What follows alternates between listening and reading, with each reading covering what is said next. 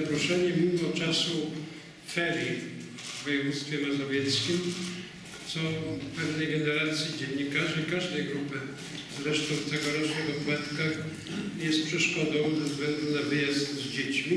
Tym bardziej sobie cenię Waszą obecność. To jest jedno wyodrębnienie. Drugie jest takie, że wśród wszystkich grup, które tutaj przychodzą od 5 stycznia, które mają spotkania opłatkowe noworoczne i chcą tu przychodzić, mm, myślę, że dziennikarze są grupą niezwykle ważną i niezwykle szczerze i serdecznie witaną w tym domu arcybiskupów warszawskich. Nie ulega wątpliwości, że siła i ważność Waszej misji, chciałbym, żeby to było Wasze powołanie, wzrasta. Wzrasta w ostatnich latach bardzo, dlatego że media stają się tą władzą, która kształtuje serca, kształtuje umysły i kształtuje współczesnego człowieka o wiele bardziej niż to było kiedyś, a więc odpowiedzialność Waszej funkcji, Waszego powołania, Waszej misji jest e, niezwykle ważna i wzrastająca.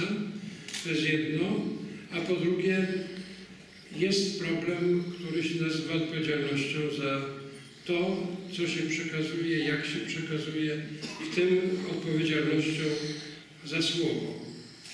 Nie tylko w sensie polszczyzny pięknej, wzorcowej, chciałoby się powiedzieć w mediach, takiej byśmy oczekiwali, ale także odpowiedzialność za słowo i treść, którego to słowo jest wyrazem.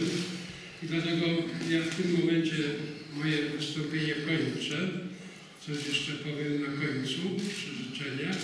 Natomiast chciałem właśnie przedstawić, nie potrzeba przedstawić pana profesora Węgrzyka, który myślę jest w tym kontekście odpowiedzialności za słowo, odpowiedzialności mediów, prawdę, służbę prawdzie, niewątpliwie jest fachowcem i od strony swojej profesorskiej, a równocześnie dla Was jest autorytetem, ponieważ, tak jak wiem, on się obraca także w sferze Wydziału Dziennikarstwa, czyli tam, gdzie jesteście kształceni. Myślę, że będzie najlepszym do tego, żeby wprowadzić, chciałbym tak jak co roku, krótką rozmowę po wystąpieniu pana profesora, dyskusję, może pytania, tak żebyśmy w godzinie zamknęli ten czas tutaj